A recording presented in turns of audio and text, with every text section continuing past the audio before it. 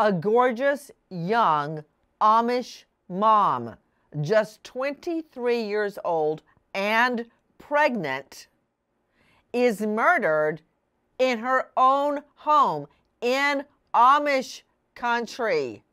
What? In her own home. Now, according to many people that are familiar with the Amish lifestyle, they are deeply religious. They eschew modern entrapments. They don't drive cars, much less flashy cars. Uh, many of them don't even use zippers to zip their clothing. They use buttons. They dress very plainly and try their best to emulate their Lord Christ by being humble and loving the Lord. So, how in a community where there are not even zippers, much less guns, where uh, everyone has a vow of pacifism, does this young pregnant mom end up dead? Right now, only one clue to who did this deed. I'm Nancy Grace. This is Crime Stories. Thank you for being with us here at Crime Stories and on Sirius XM 111. First of all, take a listen to Lieutenant Martin Windorf. PSP Corry got a call through 911 uh, of a deceased female that was uh, found at the scene here. Uh, we have responded. At this point, uh, we have confirmed uh, the identity of the female, uh, that she is deceased, and it looks like suspicious circumstances. Right now, the police in Amish country are holding everything very tightly and close to the vest. We have managed to get the name of the victim, 23 year old Rebekah Byler, 23 years old, and her unborn baby. Both dead. We understand in the family home. We also understand two little children were in the home at the time of the murders the murders, all of this is unfolding now. We are trying to confirm everything that we are learning. But right now, the hunt is on and the investigation is on for Rebekah's killer. Tip line 814 663 2043. Repeat 814 663 2043. Again, this has occurred in Amish country Pennsylvania. With me, an all star panel to make sense of what we know right now, but to Trooper Cindy Schick, PIO, Pennsylvania State Police. Listen. The death is currently being investigated as a criminal homicide. Uh, we are aggressively investigating all available leads. We want to solve this just like the community wants us to solve it. So, any information that's out there, we want people to come forward and, and help us um, resolve this issue. Joining me in All Star panel to make sense of what we know right now, but I do know this. Typically, when LA law enforcement is begging the public for help, that means they really do need help in solving the murder of Rebekah Byler, just 23 years old, and her unborn child. Again, all star panel joining me. First, I'm going to go to Jennifer Borrasso, investigative reporter, KDKA TV. Jennifer, first of all, tell me where this happened. Uh, if you guys uh, in New York could put up our Google Maps, it's, it's, when I look down, I've looked at an aerial. I lived in Pennsylvania for a, a good bit of time and traveled to Amish country. It is, look at that. Look at that. All green. When you go to Amish country, uh, the, the plats on which the homes are situated can be three, four, seven acres. They're big. There's very low population. To Jennifer Borrasso, investigative reporter, KDKA TV. Jennifer, again, thank you for being with us. Tell me about the area, and I've got a reason for asking this. Go ahead, Jennifer. So, Nancy, as you mentioned at the top of this report, that this Crawford County is a very, very rural county. It is about 25 miles southeast of Erie, Pennsylvania. There is a fair amount of Amish in the area. Uh, where this murder happened, the house was on a dirt road. So it would not be unusual if you drove through that area that you may not see your next door neighbor. Um, it's spread apart, and that is a challenge for law enforcement right now. You know, sources telling me that this happened on a dirt road, so you're not going to have a lot of people driving there, thus, not a lot of people, not a lot of witnesses, basically. Jennifer Borrasso, that's exactly where I'm headed. You read my mind. Now, you know, in a lot of big cities, uh, they think the world ends at their city limits, but FYI, for your information, everybody knows I grew up on a red dirt road in rural Georgia. The vast majority of the U.S. is rural, right? So we need to address the realities of investigating a murder in a rural area. And yes, this has been deemed suspicious circumstances.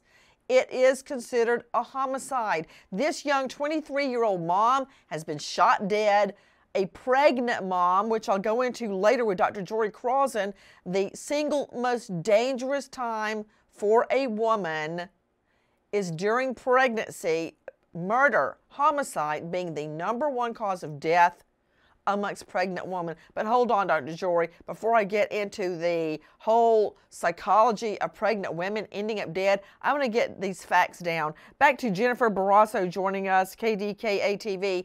As a matter of fact, isn't it true that the population of Sparta Township, Pennsylvania, Amish country, as we all call it, is a little over 18,000 people for the whole area? My research showed 18,000, but I just heard 2,000, which is even more on the point I was making of a low population. Jennifer, what's the answer? You're correct. It is about 2,000 um, in terms of population. And once again, um, one of the biggest challenges um, the lack of people, um, not only in the lack of technology. Um, you know, my sources telling me the remote location, obviously a big challenge, um, but once again, lack of people in the area, lack of tech technology, and that is is something law enforcement they have to deal with. Joining us right now, in addition to Jennifer Borrasso, KDKA, and Jorey Krawczyn, who I've already introduced to you, Dr. Jorey, psychologist, former law enforcement, now faculty at St. Leo University. And by the way, you can find him at Dr. Jorey, J-O-R-E-Y dot com. I want to go now to Jarrett Ferrentino, homicide prosecutor in this jurisdiction of Pennsylvania at jarrettferrentino.com. He's also the host of True Crime Boss podcast wildly popular, I might add. Jarrett Ferrentino, down to the brass tacks. Okay, when I'm in court prosecuting a homicide case, very often, uh, uh, except for their probative value, what they prove to me, I try to remove myself and my emotions from the case so I can move forward. Jarrett Ferrentino, this is very difficult. A young mom, just 23 years old, pregnant, I'm not sure how pregnant she is. I think I know, but I don't definitely know. Who is gunned down in her own home with her two year old. And guys, we're showing you a shot of the home. Notice, um, as we did when I was growing up, we didn't have a washer and dryer. You see the clothes hung out. They don't have a washer and dryer for other reasons because they live a quote, humble life trying to walk in the footsteps of Christ's model. You see them there uh, walking because they're not driving cars. In this shot, I guarantee you the car you see going by is a tourist. That is their mode of transportation, using a horse and wheels, which the good Lord gave them. So the fact that this young mom has been shot multiple times in her home with her two and three year old child in the home, those are the facts we have so far, is unheard of. Jarrett Ferrentino, how do you remove yourself from the emotion of prosecuting a case, investigating a case where a young mom is slaughtered, a pregnant it, young mom. Nancy, it's damn near impossible to do that. You take those emotions and you let them motivate you in the investigation and the hard work you have to do, as you well know, in prosecuting these cases. You have a young 23 year old mother, you have two children left without a mother, and a little baby inside of her that will never have a chance at life. This is a tragedy all the way around and extremely difficult to prosecute, but that's the work of a prosecutor, as you well know. You have to put your emotions aside, consider the evidence, and move forward. I know this. Uh, it, it, it, took us a long time to just get the name Rebekah Byler. And then we learn we believe that she was six months pregnant. The baby viable. We know, or we think we know right now, that she was shot dead in the living room of her own home. Jarrett Ferrentino, we've heard nothing about a forced entry, uh, no sex attack, and no robbery. What do you make of that? Well, those things, as you know, are very telling. I've said before when I've been with you, absence of evidence is not evidence of absence. You have certain things that didn't happen here. Two children that survived. You have no forced entry. It would suggest to investigators it's someone with familiarity uh, of the property and someone who felt the need not to harm those other two children. Those are certain things that will jump out at investigators. And I know we were talking about how rural this is. Nancy, there's rural and then there's Amish country. This is a throwback to a pre technology time, which presents so many unique challenges to investigators and prosecutors in assessing what happened here.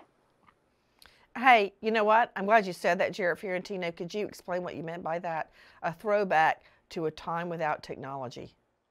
Sure. I mean, the, the Amish beliefs are an Anabaptist belief where technology is viewed by Amish people as almost like an interference in their community and uh, just a, a, way to ostracize uh, themselves from one another and Christ, quite honestly. So, any type of technology that usually assists investigators, like a cell phone, uh, would not be present in Amish country. It would be an outlier to have a cell phone in Amish country unless it was related to the work uh, one of the members of the community was engaged in.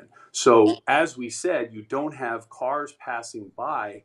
You also don't have this unique tool of a cell phone, typically in Amish country, to assist in an investigation like this. You know, I'm just thinking about another aspect of this, and I want to go back to Jennifer Borrasso, who is actually joining us in the Pennsylvania jurisdiction. She's with KDKA TV. As you can see, she's outside, uh, out in the field, uh, joining us. Jennifer, thank you. I, I know it's cold, and I really appreciate you being with us. Jennifer, it's bad enough in my mind that a 23 year old is basically a girl. She's 23. Yet this girl is a grown woman with two children, a husband, a home, and about to give birth to her third child. Even if she didn't have the two children and the baby on the way, claiming somebody's life, murdering them at 23. I mean, I remember my fiance was about this age when he was murdered just before a wedding and um, just the taking of a life before you can even really start your life. The, a, a, a young girl, I mean, the community has got to be devastated because I am, and I've never known Rebekah except in death. Tell me about how this has affected them, and are they willing to come forward with information? Because I, am I'm, not sure. Anybody on the panel help me out because I don't know. Um, aren't Amish, uh, aren't they against judging anyone, making a judgment on another person? I mean, would they be willing to break ranks and come forward if they knew anything? And Nancy, I just looked this one up um, before we started the show, and Yes, they typically don't report crimes before they happen, or well, obviously before they happen. But they typically don't report crimes proactively, you know, right in the moment. But they do cooperate with law enforcement once a crime has happened because they tend to try to insulate themselves from the outside. And so I'm hopeful that they will be cooperating much more than they would before this happens. In other words, if there was a domestic violence issue. Guys, this is Robin Dreeke speaking, behavior expert, former FBI special agent. That's the part I like. And listen to this Chief of the FBI Counterintelligence Behavioral Analysis Program. Repeat, Chief of the FBI Counterintelligence Behavioral Analysis Program. I feel like I should just go home right now after saying that. Uh, author of Sizing People Up, a veteran FBI agent's manual for behavior prediction. Robin Dreeke uh, joining us. Robin, what further light can you shed on this? Because right now, police are begging for help. And I'm about to give you the one clue. Actually, let me give you the clue right now. Take a listen to our friend at crimeonline.com, Dave Mack. Sparta Township, Pennsylvania has a population of less than 2,000 people. This area, about 35 miles southeast of Erie, is Amish country. And in Amish country, horse and buggies are the preferred mode of transportation. So when a red Jeep is parked in the driveway at Andy and Rebekah Byler's home, family and friends take notice. It's around 10 a.m. on Monday. Some members of the community report seeing the red Jeep driving up and down their road earlier that morning. Okay, Robin Dreeke, I want to get back to you on the one clue that we've got so far a red Jeep driving up and down their road earlier that morning. Um, we think that she was killed um, before lunchtime and after the husband went to work. So that could be crucial. On the other hand, Robin Dreeke, people tour. They go visit, as I did when I was living with my sister in Philly. They go tour Amish country. So, what does the red Jeep really tell me? And does that mean riding up and down the road like we saw that car earlier, which is probably a tourist car, or up and down their driveway? Um, let's just start with the red Jeep, Robin. Yeah, well, it's an outlier, and that's what we're looking for in cases like this. This community is a community of massively established baseline normal behavior. So I agree with Jarrett wholeheartedly. You know, spoke earlier that we don't have a lot to go on and but what we do have to go on is a profile the likelihood of her knowing her murderer is really really high when you're looking at stats and when you have outliers of behavior like this red jeep you're immediately going to zero in on it the challenge as has been highlighted is the the distance between people but at the same time though if you're looking at the fact that she most likely knew her murderer, if we're looking at stats, and it's a really, really small, tight community, even though they're spread out. The likelihood of other people in that community knowing or at least being able to provide leads is really high. And then when you can kind of triangulate a red Jeep on that, I'm, I'm the glass half full kind of guy uh, in the sense of, hey, we just got to work the problem and I think they hopefully will have enough just because this person, whoever it was, felt very, very safe in committing this crime in broad daylight in a home with two other children.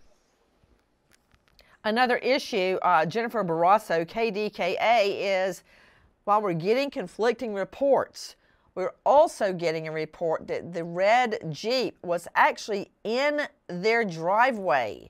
What do you know? So police are not saying much uh, about that red Jeep, um, but they do tell me um, sources that um, they have people of interest, but no suspects. Um, they've checked out the husband. They're, they they tell me that um, they are fairly confident his alibi checked out. Um, one thing I wanted to point out, uh, Nancy, is that um, my source is telling me that they've had some burglaries um, of Amish residents in that area, not specifically saying on that dirt road, um, but that's one thing uh, they pointed out to me right now. Um, who was in that red Jeep? Um, they're not really elaborating much more than that. Guys, for those of you just joining us, uh, a beautiful young 23 year old woman, practically a girl, six months pregnant with two children, two tots, ages two and three, we believe, in the home at the time mommy is murdered you know, Dr. Jorey's going to have to uh, figure out for me what effect this is going to have on them. But to Dr. Michelle DuPre joining me, renowned forensic pathologist, medical examiner, former detective with Lexington County Sheriff's Department, author of Money, Mischief, and Murder, the Murdaugh Saga. In fact, she shot to the forefront of the national conscious, consciousness when Alex Murdaugh was prosecuted in her jurisdiction of South Carolina but what interests me the most about Dr. DuPre is she is the author, literally wrote the book, Homicide Investigation Field Guide, which I have relied on many times, Dr. DuPre. Uh, Dr. Michelle, question to you. Do you remember when Alex Murdaugh arranged his own shooting?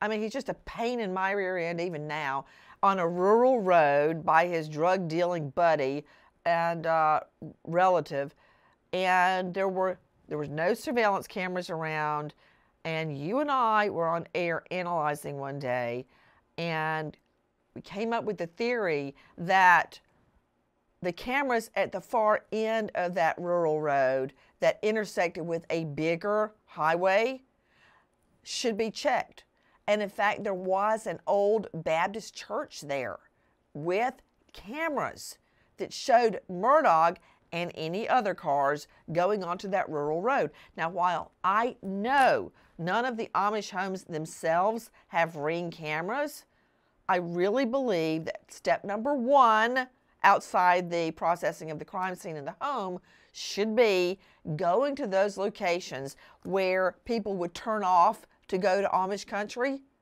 and review all the video, see if they can find the red Jeep turning in, because nobody in that neighborhood owns a red Jeep. I can promise you that. And catch it turning in from all points, all angles going to that location. It may be one, two, five, ten miles away, but they had to get there somehow. That's exactly right, Nancy, and that's an excellent idea. If we had cameras at either either end of that road that might pick up a red Jeep and we could get the license plate number, that would be an excellent investigative tool. Absolutely. Dr. DuPre, have you ever performed an autopsy on a pregnant lady? I have, Nancy. There was a, a motor vehicle accident, um, and we were actually able to um, to extract the, the baby, and the baby did live, but the mother did not. You know, Dr. DuPre, uh, a, a, an ironclad rule, uh, cross examination or direct, is to never ask the question you don't know the answer. I just did that. I thought that's what you were going to say with all of your thousands of cases you've worked. Tell me about the death of Rebekah. She endured, we believe, multiple gunshot wounds in her own home, in her living room, and her unborn child died as well. Nancy, I, I, can't fathom this. I am sure that she was scared to death, not just for her life, but for the life of her unborn child. I don't know where on the body she was shot, but I'm sure that it was terrifying and and painful as well. And again, just thinking of her dying and her child dying must have been horrifying. How long would it have taken her to bleed out, either externally or internally? Of course, all that depends on how many times she was shot and where she was shot, but it could be as, as little as a few minutes to even longer, just again, depending on where she was shot. And regarding the baby, there, how long would the baby live after mommy was shot? Well, it would not be very long. She would have to have received almost immediate medical care um, and to have the baby probably removed by cesarean section, providing that none of the, the child or the um, placenta or anything was actually injured. So it would have been minutes, really. You know, I can remember uh, Dr. DuPre when I had an emergency delivery. I was to a point where I couldn't breathe very well at all. and they were just trying to get the twins out quickly, you know, to, to, to make sure that they survived. I'm just imagining all this family is going through now. The community is rallying around this family. Uh, the local residents are uh, raising money, food, anything to try to help the family. Guys, I want to go now to Dr. Jorey Krawczyn, who I've mentioned several times to make sense of what we know. But first, Dr. Jorey, I want you to hear more facts from Sydney Sumner from Crime Stories.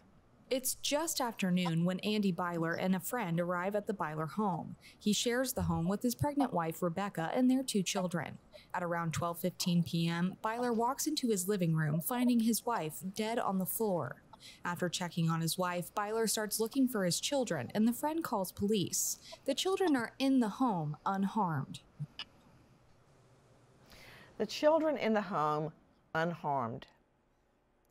To Dr. Yu, Dr. Jorey Krawczyn, what effect will this have on them? Because so often we hear uh, misinformed individuals say, oh, they won't remember. They will remember one way or the other, Dr. Jorey. Yeah. Um, let me start off with you know, you're born with just two fears the fear of falling and loud noises. The gunshots are going to be recorded in the memory, even of a two year old. Okay. That fear factor is initiated with that loud sound, that explosion.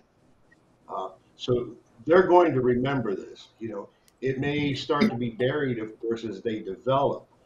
The other factor you have to consider is the loss of their mother. They're in the stages now where they bond and attach, and that's where you know their self-confidence, their self-esteem, their identity, all of that is built on that attachment to the paternal figures, both mother and father.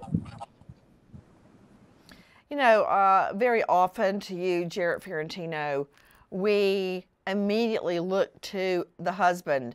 But I'd like to hearken back to a case that I investigated and covered the case of Pastor Davy Blackburn, who left one morning to go to the gym to work out really early in the morning. He came home to find his pregnant wife shot dead in the foyer, the entrance hall to their home, uh, his wife Amanda.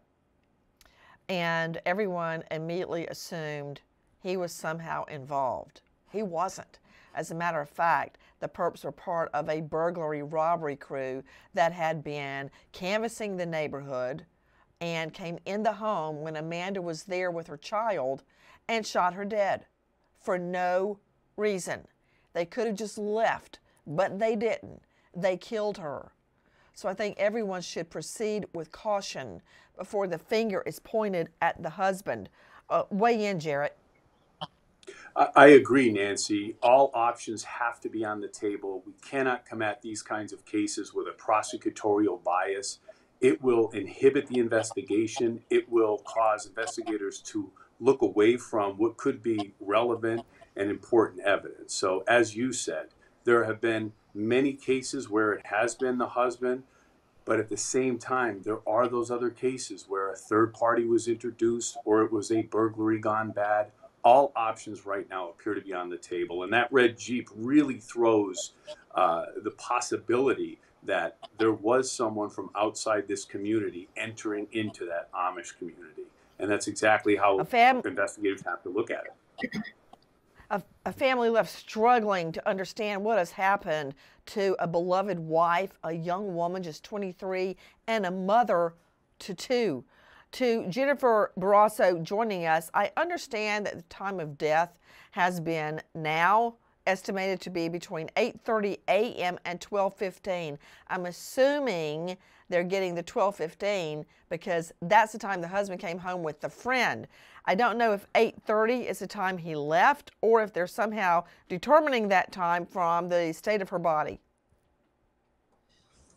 So we were trying to um, ask police more about that. Um, they are staying tight-lipped. Um, just what um, I was told that, like other Amish families, um, this this mother would um, get up and she would uh, do the laundry. make breakfast. Um, the house was um, very clean, um, and what what the when the husband actually left for work um, and what he did that morning, um, what brought him home around twelve. Uh, police just aren't saying. Um, I know that uh, they have interviewed um, the husband, and basically sources telling me that um, his alibi at this checks out. Um, they they have people of interest, uh, but no suspects in this uh, case right now. Um, but really trying to get those details uh, about what made him come home. Um, we're still waiting to hear from police on that. Oh, okay. So that's making me wonder did he not normally come home uh, for lunch? So when you say they're trying to figure out what made him come home, now I want to know why he came home. Robin Dreeke joining me, behavioral expert, formerly chief of FBI Counterintelligence Behavioral Analysis Program, now author. Robin, again, thank you for being with us. Um, very often you'll hear uh, a lot of pushback. Wow, you're looking at the husband. Yeah, I always look at the husband, the boyfriend, the lover, the ex, because statistically, they did it. Bam. There you go. Those are the statistics. I didn't make them up. They are gathered from thousands and thousands and thousands, tens of thousands of examples. That's why statistically you look at the husband. That does not mean the husband did it. And in fact, in this case, he seems to have an alibi. Yeah, and that's why they call it profiling because you create an ideal resume of someone that would typically commit this type of crime based on research and data that you can then take and create an overlay so that when you have all these leads coming in, hopefully there's lots of leads coming in, you can start creating a filter based on that ideal resume or profile. And again, this community is, is a community of pattern. They've done the same thing for a hundred, couple hundred years, and so hopefully the people are going to notice a deviation from that pattern, both with individuals, vehicles, obviously. Um, whether whether I, I, really hope that there is cameras at the ends of, of, the road, you know, when they enter the main highway. Maybe the individual, if they were from outside, again, you got to go where the leads and the evidence takes you without that pre- presumption. Well, here's another thing. We know that Amish are pacifists. That's mm-hmm. very well documented. We know that from every single war that the U.S. has uh, been involved in. But weapons are not forbidden. Guns are not forbidden amongst the Amish. Are you surprised? I was. Um, I really wouldn't consider, but when you kind of do that overlay of self-reliance and resilience and, and a more rural kind of life, hunting would be uh, you know appropriate. And so you would have a firearm for hunting.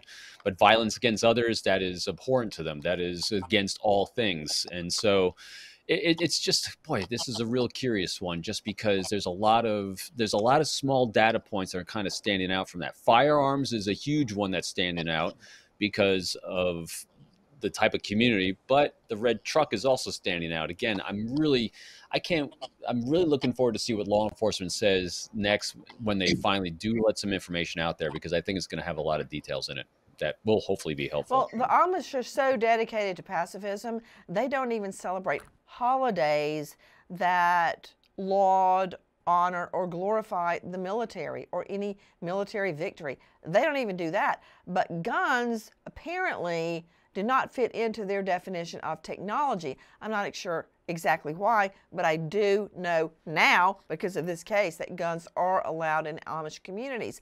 At first, I thought, wait a minute, a gun, that means nobody in their neighborhood or community did it. That's not entirely true. However, just as you said, Robin Dreeke, the red Jeep is the fly in that ointment because the perp may have not only had, well, we know the perp had a gun, and yes, it is a he. Count on it. But they yep. may have been driving a red Jeep. What more do we know? Take a listen to what we know about the autopsy. This is Sydney Sumner, Crime Online. Investigators aren't releasing information from Byler's autopsy, but they do say the findings help determine when Rebekah Byler was killed, and that has investigators asking for the community's help. They're looking for information on Byler's movements from 8:30 a.m. to 12:15 p.m. on Monday, as that was when Byler and the two children were at the home alone. and more from Rachel Bonilla, Crime Stories. Police cars lined Fish Flats Road outside the Byler home. Rebekah Byler's death has been ruled a homicide. Authorities have not yet revealed how Byler was killed, but according to CBS News, Byler was shot multiple times. Police say the crime does not look like a robbery as there's no evidence that anything was taken from the home. For now, there are no suspects or a motive. The fact that nothing was taken from the home, Jarrett Ferrentino, I find probative. It proves something to me that robbery was not the motive. However, in the case of Pastor Davy Blackburn, his wife Amanda was killed. As I recall, nothing was taken from that home either. The perps had intended to burglarize it, but I don't recall if anything was actually taken. So the fact that we can't find anything taken does not mean the motivation was not robbery. I, I agree, Nancy. This is something where Rebekah could have happened upon someone that entered the home, the killing occurred, and that person fled the scene, although it was ultimately their intention to commit the robbery when they entered the property. So that is an option that has to certainly be considered. Well, yeah, I think you're right. Dr. Jorey Krawczyn, you're the shrink. Um, think about it. She was shot dead, from what we know, fully clothed, in the living room which means to me, did she hear somebody coming in the front door when they weren't supposed to be? Like, I know what time my children are going to walk through the door, what time my husband is going to walk through the door, what time my mom is going to come out of her room. I know that. And when I hear it, I know what it is. Did she hear the front door open and went, Whoa, what, who's that? And went to go explore because she was gunned down right there in the living room looking at the suspect, whoever it may be, you know, with the behavior pattern, he may have come into like rob or burglarized, got startled, uh, shot her, saw the two children, and then just abandoned that plan. Like, I got to get out of here now. So now the survival mode kicks in, and he just he takes nothing. He he wants to get away. He wants to get out of there. I mean, that's a scenario. I'm just trying to figure know, out what police as if they need our help, but what should police be doing right now? What about it, Robin Dreeke? I'm looking at all everyone from past relationships. You know, I used to watch a show, uh, Breaking Amish, and when you look at the average age of the population of this small Amish community, it's in the 40s which means that the younger people are leaving in droves, not droves necessarily, but it's, it's, it's a decreasing population when I looked at this particular area, which means that there could have been someone in this woman's background that has left the community and maybe come back. Again, it's a hypothesis, and we're going to go where the data and the leads follow us and the evidence follows. But when I see a red Jeep, when I see, I mean, it can be anything. Like you said, a burglary gone bad, but man, it's in the middle of nowhere. They kind of knew when to go to the house, when the husband's going to be away, and nothing was taken. I mean, like you said, when you look at all the statistics and you create that overlay in that profile, it's kind of leading you down the path that most, not most likely, the high probability that she knew who murdered her. So I'm looking at and interviewing everyone that in that community that knows each other really really well and who from the past should we have a conversation with especially if they might not be part of the community anymore we are learning at this moment a suspect has emerged jackie howard what do you know Nancy, we just learned from the search warrant filings for the Byler home that Rebekah Byler appeared to have suffered cutting wounds to her neck and head. Now, this is obviously physically different from the reports of the gunshots that we had before, but the neck and head are areas of the body that bleed the most. So it's easy to see why that was the initial conclusion from witnesses at the scene. Trooper Adam Black, who filed the search warrants, wrote the victim's husband, Andy Byler, found the body a short distance inside the home. A woman, previously described by police as a family friend, called 911. Police say so far the investigation and autopsy have given investigators an idea of what the murder weapon may have been, but it is not in police custody. The warrants are for knives, blades, cutting instruments, and other items. Again, police have not said how Rebekah Byler was killed. So far, there are no suspects, and police are asking for the public to report any tips or suspicious people, vehicles, or activity in the area of Fish Flats Road. Pennsylvania Crime Stoppers say there's a $2,000 reward for information. If you know or think you know anything about the brutal murder of Rebekah Byler and her unborn child, please call 814 663 2043. Repeat 814 663 2043. There is a GoFundMe online right now where funds are being gathered to help the family of Rebekah Byler. We wait as justice unfolds. Goodbye, friend. Guys, thank you for watching Crime Online with Nancy Grace here on YouTube. To get the very latest, subscribe to Crime Online here